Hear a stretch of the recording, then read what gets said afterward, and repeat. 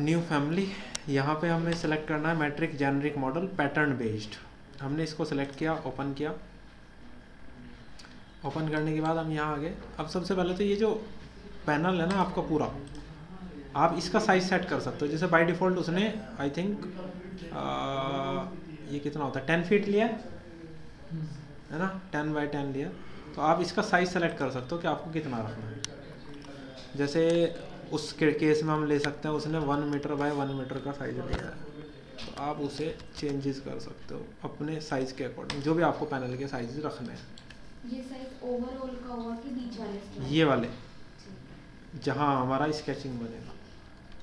अब यहाँ जैसा भी हमें पैटर्न करना है क्रिएट रैंडम उस पैटर्न की कंडीशन ये है कि पैटर्न बनाने के लिए आपको एस्पिलाइन यूज़ करना होगा क्योंकि हर एक लाइन वन बाय वन अलग अलग स्केच की तरह काउंट होगा। अब एस्पिलाइन बनाने की कंडीशन क्या होती है? दो पॉइंट सेलेक्ट करते करते हैं, तब जाकर एक एस्पिलाइन क्रिएट होता है। जैसे फॉर एन एग्जांपल आपको एस्पिलाइन बनानी है तो एस्पिलाइन बनाने के लिए तरीका ये है, आप बताएँगे पहला पॉइंट और दूसरा पॉइंट एस्पिलाइन बन गई, क्योंकि स्ट्रेट रखना है उसको। इसलिए एक एस्पिलाइन बन गई। सेम इसी तरह हमने एस्पिलाइन लिया, एक बार में दो पॉइंट्स को डिफाइन किया।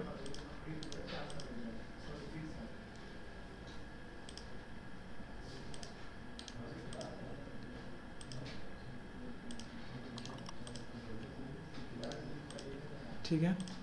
सब स्केच इधर बनी नहीं है हमारी? हैं, बनी है। एस पी लाइन पे प्रोफ़ाइल ऐड करनी है ना। जो स्वीप वन बाय वन लेगा ना, वो एस पी लाइन की एक प्रोफ़ाइल काउंट होती है। सिंगल लाइन नहीं काउंट हो रही। और दूसरी बात एस पी लाइन आप कैसे भी बैंड कर सकते हैं कर्व्स भी दे सकते हैं। सिंपल लाइन में नहीं दे पाएँगे। कॉर्नर्स पे राउंडर्स अब जहाँ भी मतलब जैसे ही प्रोफ़ाइल बनानी है, उसके लिए आप पॉइंट्स कंसिडर कर सकते हो। अब ये तो मिड पॉइंट हो गया। अब मान लीजिए आपकी कंडीशन कुछ ऐसी आ जाए कि भैया इस पॉइंट से मुझे एग्जैक्ट जाना है 300 मीटर उधर। तो इसकी कंसिडर कैसे होगा? एक पॉइंट लगा दो, फिर उस पॉइंट को सेलेक्ट करो। पॉइंट को सेलेक्ट करने के बाद यहाँ देखो बिगिनिंग से आ रही है। हमने बोला कि नहीं यार, हमें एंड से देनी है। यहाँ 300 अच्छा ये परसेंटेज में ले रहा है इसका मतलब। Point two eight twenty eight percent तो थर्टी पॉइंट थ्री ज़ीरो अगर पॉइंट फाइव करेंगे बिल्कुल सेंटर पहुँचती है क्या? हाँ वो परसेंटेज में वैल्यू ले रहा है। दोनों में से बिगनिंग कौन सा एंड कौन सा कैसे पता चलेगा? देखो ज़ीरो पॉइंट टू कर दो पहले। देख लो किसके पास आ रहा है। तो बिगिन एंड ये वाला है। तो फ़र्स्ट पॉइंट दिया लाइन को फ़र्स्ट पॉइंट जब हमने एसपी लाइन बनाया उसके लिए। क्योंकि एसपी लाइन अलग अलग बन रही है ना। तो मतलब पहला पॉइंट स्टार्टिंग है, दूसरा एंड पॉइंट है। इस तरह आप कंसिडर कर सकते हो। फ़िलहाल हम सेंटर पे मान लेते हैं।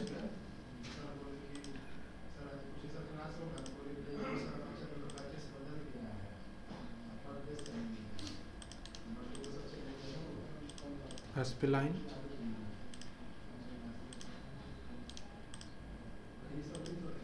सर ऊपर और भी ऑप्शंस है लाइन के रेक्टेंगल के और भी कर्व्स के तो उसमें भी तो बन सकता है। देखो बन सकता है हम बिल्कुल ले सकते हैं।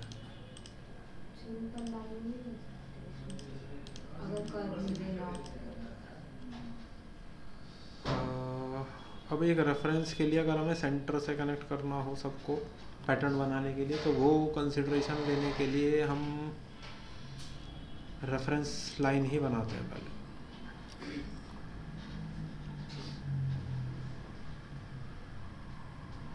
रेफरेंस लाइन में ये पॉइंट ही नहीं कनेक्ट होता। एस पी लाइन इसलिए ले रहे हैं पॉइंट को कनेक्ट करने के लिए। पॉइंट कनेक्ट ही रेफरेंस लाइन पे हो रहा। पॉइंट चूज़ ही नहीं हो रहा। नहीं जो ऊपर सबसे ऊपर है बॉक्स में लाइन अच्छा आप ये कह रहे हैं कि ये वाली लाइन यूज़ कर लें। हाँ ये तो कंसिडरेशन लिया जा सकता है। हाँ, तो ये- चलो जी आपकी तसल्ली कर देते हैं। लो जी लाइन लिया हमने। लाइन भी नहीं डायरेक्ट पिक कर रहा है ना पॉइंट नहीं कर रहा ऑप्शन तो दिया है। एस पी लाइन कनेक्ट कर रहा है पॉइंट स्नैप नहीं कर रहा। मैंने ये बनाया ताकि इसके मिड पर मैं ये प्लेस कर पाऊँ एक पॉइंट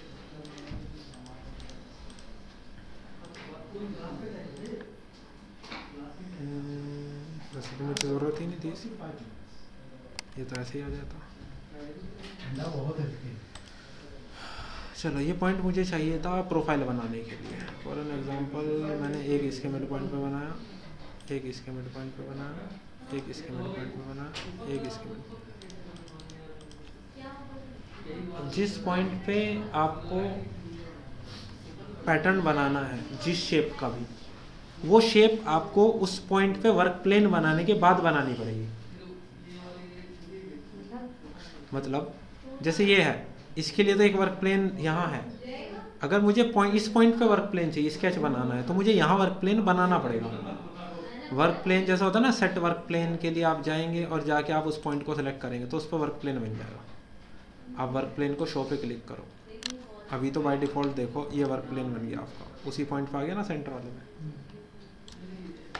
अब अगर मैं कोई एक स्केच बनाता हूँ तो वो मैं उस पॉइंट पे बना पाऊँगा, देखो एग्जैक्ट क्योंकि मेरा वर्क प्लेन वही है। समझ आई कंडीशन क्या है? इसलिए हम बना रहे थे। अब ये जो वर्क प्लेन बना है तो वो ऐसे एक्सेस जा रहा है उसके परपेंडिकुलर बनेगा। हम्म। डॉट तो सर्कल है तो बिल्कुल। उसको कैसे पता चलेगा कि डॉट बस मिड पॉइंट है उसके परपेंडिकुलर जाएगा फेस जो ये ग्रिड बनी है। जो ये लाइन आपने बनाई ना एक एसपी लाइन जिस पे ये पॉइंट है हाँ। तो जब पॉइंट पिक करोगे वो उस लाइन के परपेंडिकुलर आ जाएगा जहाँ आप क्रॉस सेक्शन बना पाएँगे। और यहाँ हम लेते हैं, चलो प्रोफ़ाइल थोड़े अलग सी। फोर्टी एम यहाँ पे लें। लेकिन ये स्केच अलग अलग ही बनानी पड़ेगी। वरना वो मर्ज हो जाएगा। ये क्रॉस सेक्शन ये एक पाथ दोनों को सेलेक्ट करो। यहाँ जाओ सॉलिड फॉर्म एक सॉलिड में कन्वर्ट कर देगा। सेम इसी तरह हर प्रोफ़ाइल पे जाके स्केच बनाओ। आसान यही है कि एक काम करो।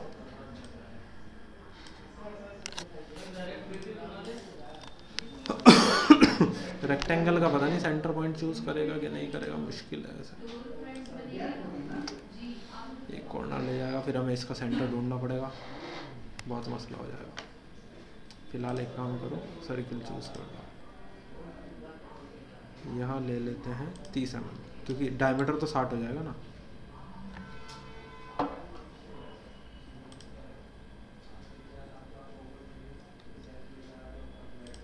तीस सर इस वर्क प्लेन का काम हो गया। फिर सेट वर्क प्लेन पे क्लिक करते हैं, इस बार इसे ले लेते हैं। तो इधर आ गया ना, ठीक है। थर्टी एम लिया ना हमने वो दोनों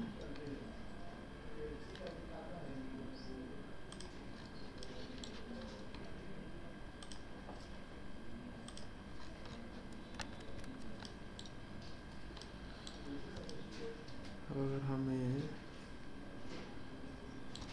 ये प्रोफाइल्स हमने यहाँ के ले लिए ये इस पर, ये इस पर, ये इस पर ये इस पर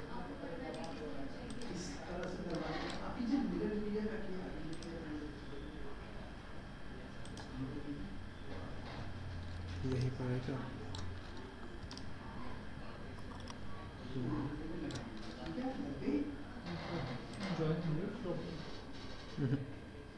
मोलियंस कहाँ प्रॉपर ज्वाइन होता है? जैसे मोलियंस है मोलियंस तो जस्ट टच करते हैं ना एक दूसरे को अलग अलग पीसीस होते हैं सब इसलिए। बाहर वाला थर्टी लिया है अंदर वाले को हम थोड़ा ट्वेंटी ले लेते हैं। ये इस पर। बाकी चीज़ें भी अभी पता लग जाएँगी हमें। अब इसके लिए हमें एक और पॉइंट चाहिए वोलियंस मिल जाते हैं एक पॉइंट पे जा करके फिर से।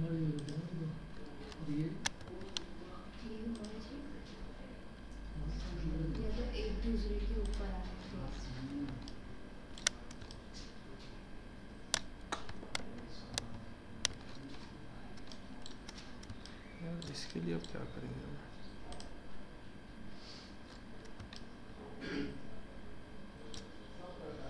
हम्म, हम्म, हम्म, हम्म। तो हमने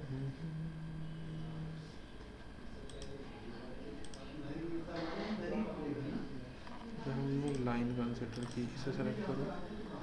ये लाइंस हैं कर्टेन पैनल्स ये भी कर्टेन पैनल ही दिखा रहा है। तो इसके परपेंडिकुलर अगर हमें वर्क प्लेन सेट करना होगा।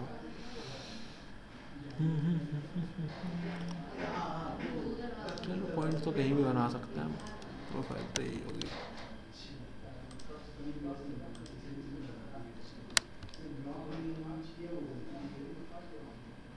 भरोसा रखो मैं वहीं जा रहा है। एग्जैक्ट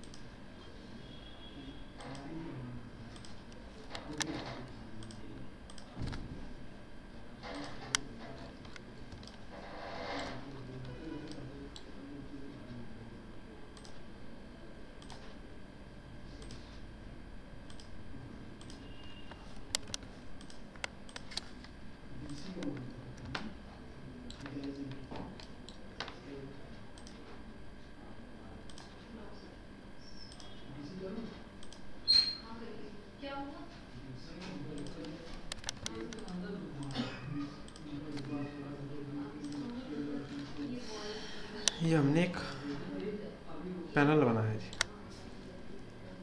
ठीक है?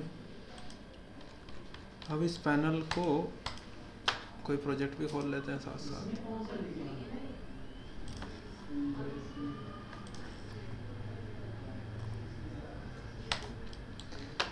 अगर उसकी कंसिड्रेशन के हिसाब से बैक पैनल कर्टेन वॉल का बनाना है तो लेवल वन से लेवल टू हाइट कितनी है हमारे पास? चार हज़ार।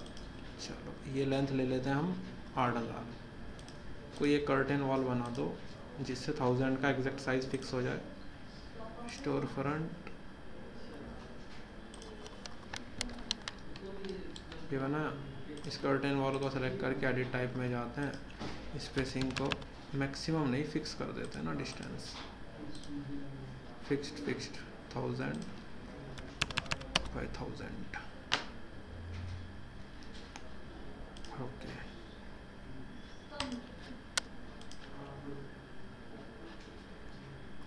इसको थ्री में दिखा। ये हमने किया थाउज़ेंड बाई थाउज़ेंड का। अब उसने बोला कि भैया मिलियंस को ही अगर एज ए सपोर्ट फ्रेम आपको यूज़ करना है।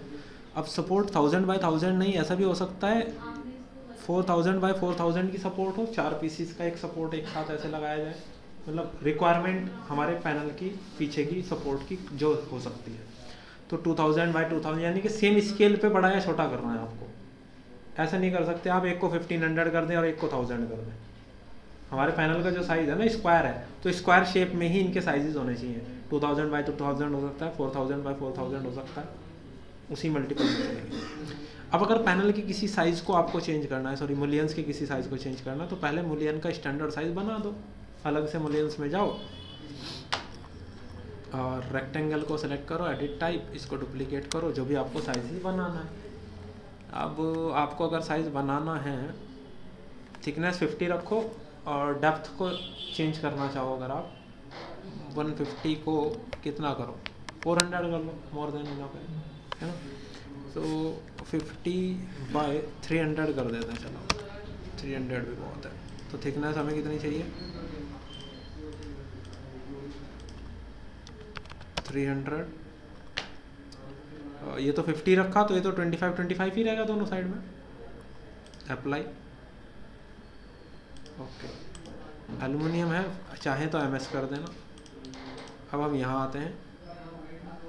इस कर्टेन वॉल को सेलेक्ट करते हैं एडिट टाइप में जाते हैं। यहाँ तो नीचे फिफ्टी बाई वन फिफ्टी का लगे हुए हैं। हमें इसकी जगह कौन सा करना है? फिफ्टी बाई थ्री हंड्रेड एक ही बार में सारी चेंज हो जाएँगे। वो वन बाय वन सेलेक्ट करना एंड ऑल उसमें तो बहुत टाइम लग जाएगा हमें। पता लगा सुबह से शाम हो गई पैनल मूल्यांश को चेंज करने में सारे फ़ाइल डाल गए ये तो एक सपोर्ट की तरह काम करेगा पीछे। है ना? तो इसमें क्या करो आप? एक और चीज़ कर लो। ग्लेज इसमें ग्लेज लगा है या नहीं लगा है डिपेंड करेगा। अगर खाली फ्रेमिंग चाहिए तो नन करके छोड़ देना, ये खाली हो जाएगा, केवल फ्रेम बचेगा देखो है? नन क्यों नहीं हुआ भाई।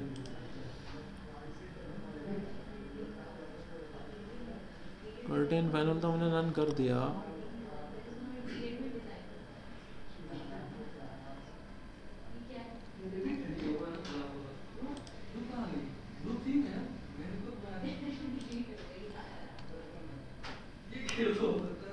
चलो, एक को सेलेक्ट करो एस ए प्रेस करो, और अनपिन तो सब हो ही गए होंगे।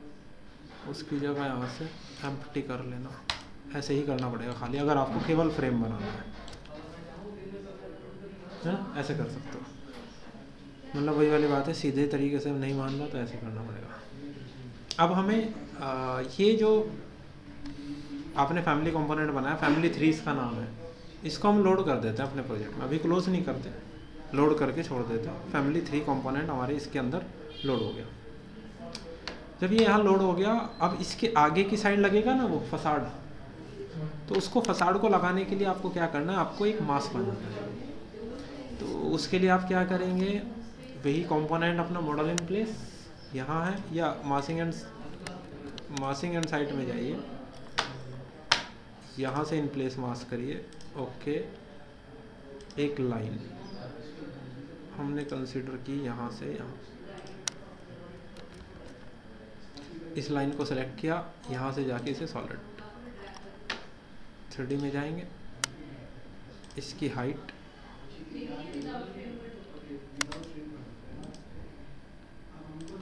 हमने चार मीटर की हाइट रख रखी है ना इसकी। अच्छा हमने इसे लेवल डिफाइन नहीं किया था, इसकी हाइट का, है ना? ये आठ मीटर की आई है, क्योंकि बाय डिफ़ॉल्ट पूरा कर दिया फ़िलहाल। आप चार हज़ार पे चाहो तो चार हज़ार पे भी रोक सकते हो वही कहानी है। अब ये जो हमने बनाया, इसको सेलेक्ट करके डिवाइड करेंगे सरफेस सरफेसिंग में डिवाइड किया इसको।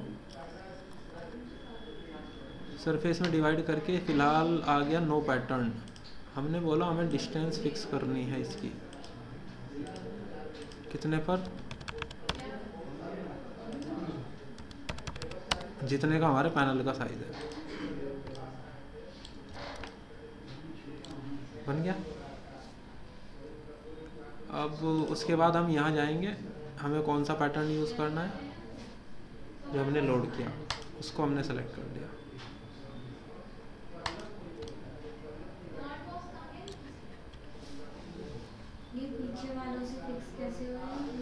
डिस्टेंस वो हमने जानबूझ कर लिया था हम मूव करके कर सकते हैं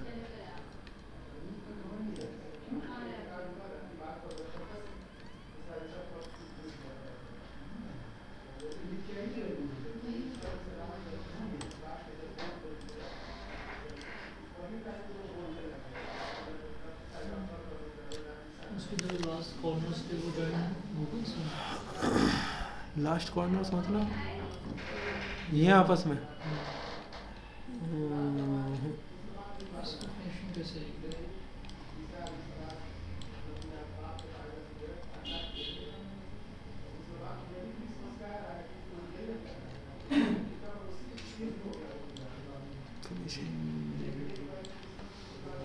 इसकी फिनिशिंग के लिए इसका मतलब वहीं कुछ सोचना पड़ेगा मतलब जहाँ पे हमने वो लाइन यूज़ की उसकी जगह रेक्टेंगल यूज़ कर लें वो ज़्यादा बेटर हो सकता है। सर जैसे कि उसमें आधे आधे में फिनिशिंग ना जी।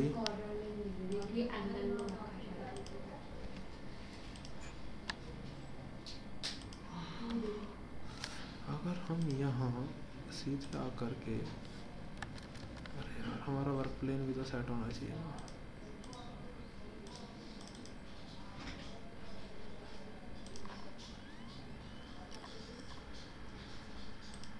लेवल वन पे ही सेट कर दो।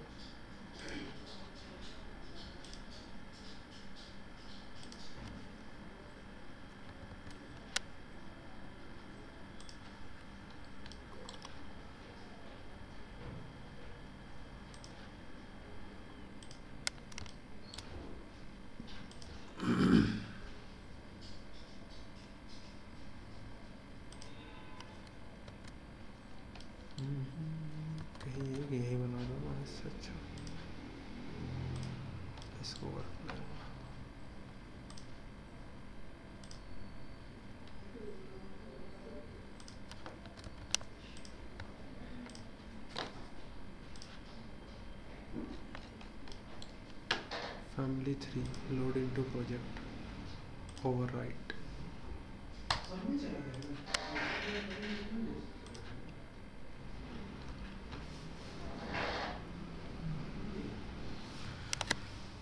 ठीक है?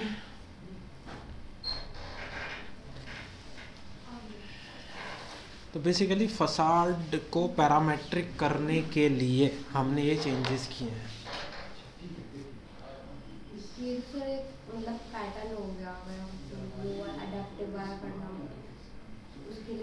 वाली प्रोफाइल्स टू प्रोफाइल्स चीज़ें करनी पड़ेगी मतलब हमें बनानी पड़ेगी प्रोफ़ाइल क्योंकि सारे डिस्टेंसेस जब टेंटेटिव होगा तो हमें टेंटेटिव डिस्टेंसेस हमारे पास होनी चाहिए पैटर्न की बस। मतलब बेस यही रहेगा सेम बस जो पैटर्न हम बना रहे हैं, उनकी सारी डिस्टेंसेस कहाँ कहाँ से कितने कितने डिस्टेंस लेनी है, हम हर किसी चीज़ को पैरामीटर बनाते हैं जैसे हमने टेबल जब लिया था, उसमें डायमेंशंस को पैरामीटर बना देगा ना ताकि हम पैरामीटर्स में जाके अगर वैल्यूज़ बदल रहे हैं तो वो चेंजेस हो जाए।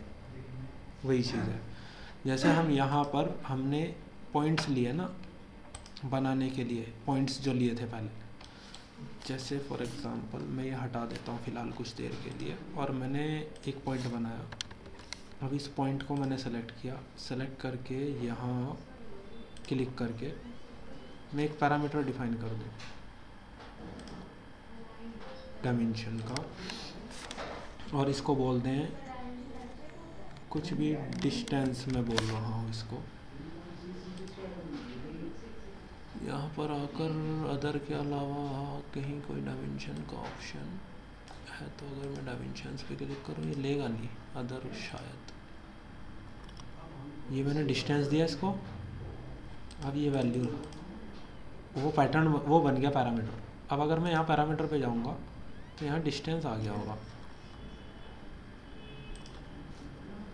एक पैरामीट्रिक बन गया ना अब ये। अब अगर मैंने इसको जा कर के पॉइंट फाइव दे दिया तो ये पॉइंट सेंटर में चला है। अच्छा वहाँ पहले से ही पॉइंट है। तो इसको पॉइंट थ्री कर दो ज़रा। पॉइंट थ्री उसने उधर से ले लिया। क्यों? इसको सेलेक्ट करो, क्योंकि ये बिगिनिंग से है, पहला पॉइंट इधर है। अगर मुझे अपोजिट साइड चाहिए तो इधर मैं एंड कर सकता हूँ तो ये इधर से डिस्टेंस लेगा।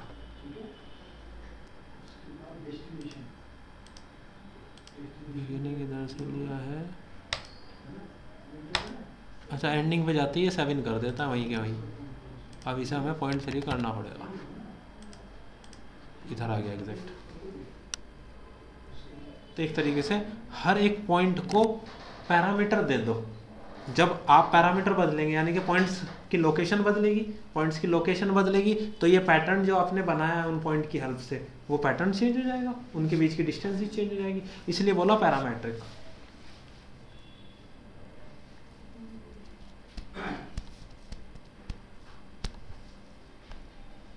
ठीक है सर जैसे कि इसमें हम एक पार्टी बना रहे हैं। रोक देता हूँ मैं।